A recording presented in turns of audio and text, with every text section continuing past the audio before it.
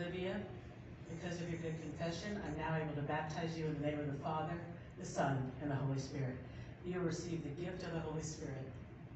All your sins will be forgiven, and now you'll be added to God's family.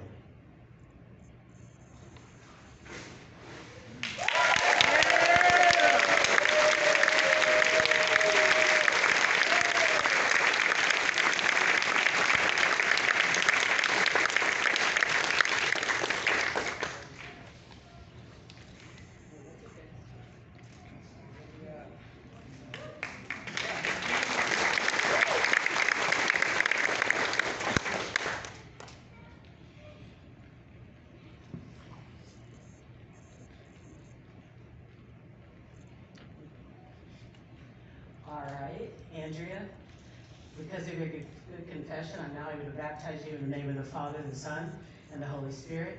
You will receive the gift of the Holy Spirit, your sins will be forgiven, and you will be added to God's awesome family.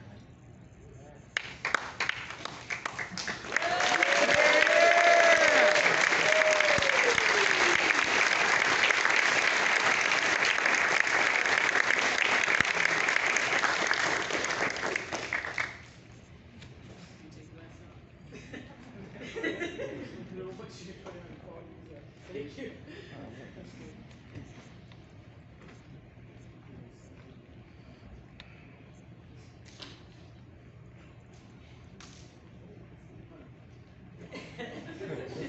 Great.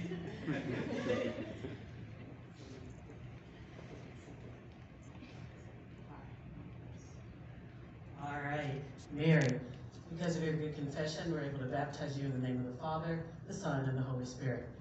You will receive the gift of the Holy Spirit, your sins will be forgiven, and you will be added to God's kingdom.